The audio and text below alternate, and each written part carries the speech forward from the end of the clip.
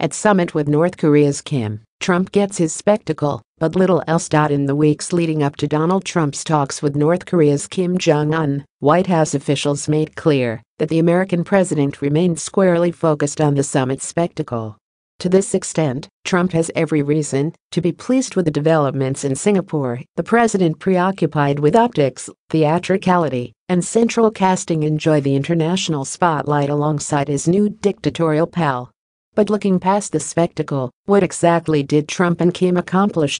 President Donald Trump and North Korean leader Kim Jong un signed a joint statement Tuesday agreeing to pursue the denuclearization of the Korean Peninsula. While the agreement fell short of outlining concrete steps that would lead to Kim giving up his nuclear weapons program, the stated long term goal of U.S. negotiators, it gave Trump and Kim a piece of paper to point to as a sign of progress and a symbol of goodwill. It was possible that the summit would descend into a fiasco and the two men would agree to literally nothing. What they ended up with is certainly better than that. But to see this as some kind of substantive triumph is to overlook the fact that their joint statement says very little and Trump will return to D. See effectively empty-handed. The official declaration included four points from the official statement. 1.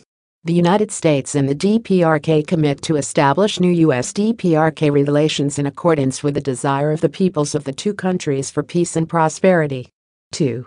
The United States and the DPRK will join their efforts to build a lasting and stable peace regime on the Korean Peninsula. 3. Reaffirming the April 27, 2018 Panmunjom Declaration, the DPRK commits to work toward complete denuclearization of the Korean Peninsula. 4. The United States and the DPRK commit to recovering POWMIA remains, including the immediate repatriation of those already identified. Trump later confirmed that joint U.S. South Korea military exercises would also be put on hold, at least for now. And if all of this seems underwhelming, it's not your imagination. It was possible the summit could lead to some kind of roadmap toward denuclearization, but it didn't. It was possible Trump and Kim would nail down some steps toward verifiability, but they didn't. It was possible the two leaders' agreement would include inspection provisions, but it didn't. It was possible North Korea would agree to some kind of detailed accounting of its arsenal, but it didn't. It was possible the two countries could at least agree to define denuclearization, but they didn't. It was possible they'd establish some kind of timetable for the near future, but they didn't. What we're left with is a diplomatic product featuring vague assurances and the prospect of future negotiations, but little else.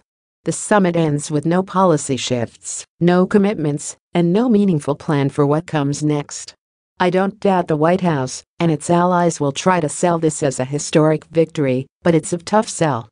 From the perspective of the North Korean dictator, it's easy to imagine Kim returning to Pyongyang satisfied.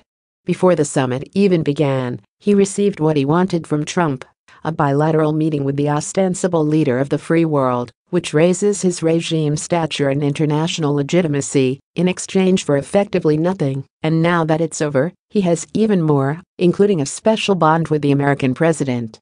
Yes, Kim continues to make nebulous promises about denuclearizing, but he's offered similar rhetoric before, and without policy commitments to back up the rhetoric, there's no reason to take the hollow assurances seriously.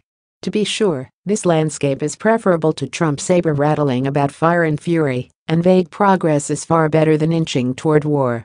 But there's no getting around the fact that in Singapore, Trump and Kim accomplished very little of substantive significance.